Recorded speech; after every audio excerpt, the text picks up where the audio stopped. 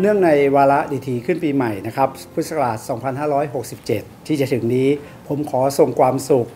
ความรักและความปรารถนาดีไปยังคณะผู้บริหาร เพื่อนครูข้าราชการ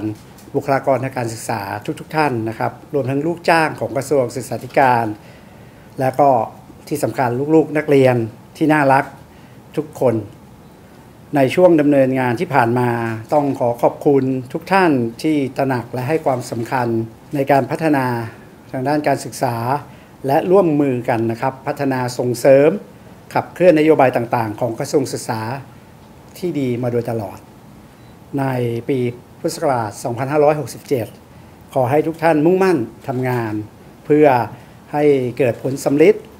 ต่อผู้เรียน ตามแนวทางการขับเคลื่อนนโยบายของท่านรัฐมนตรีว่าการกระทรวงสาธการท่านพลตำรวจเอก เพิ่มพูนชิดชอบ เรียนดีมีความสุข ภายใต้การทำงานจับมือไว้และไปด้วยกัน ร่วมกันผลักดันนโยบายการศึกษา แนวความคิด เพื่อการศึกษาเพื่อความเป็นเลิศ การศึกษาเพื่อความมั่นคงของชีวิต ผมมีความตั้งใจในการทำงานพร้อมที่จะเป็นส่วนหนึ่งนะครับในการขับเคลื่อน แล้วก็ยกคุณภาพการศึกษาไปพร้อมกับทุกท่าน เพื่อให้นโยบายของกระทรวงสาธการและรัฐบาลประสบความสำเร็จ ขอส่งกำลังใจให้ผู้บริหารคุณครูข้าราชการ บุคลากรทางการศึกษา และผู้ปฏิบัติงานตลอดจนเจ้าหน้าที่ทุกคน ในการพัฒนาคุณภาพการศึกษา ยินดีที่จะสนับสนุนร่วมดำเนินงานของทุกท่านในทุกโอกาสท้ายนี้เนื่องในโอกาส วาระดีทีขึ้นปีใหม่ พุทธศักราช